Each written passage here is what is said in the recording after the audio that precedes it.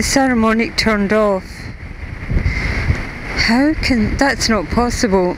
In the middle, I don't even know how much audio I have now, because in the middle of talking, the Saramonic turned off. But I have my camcorder in one hand, and I have the Saramonic wireless mic in the other.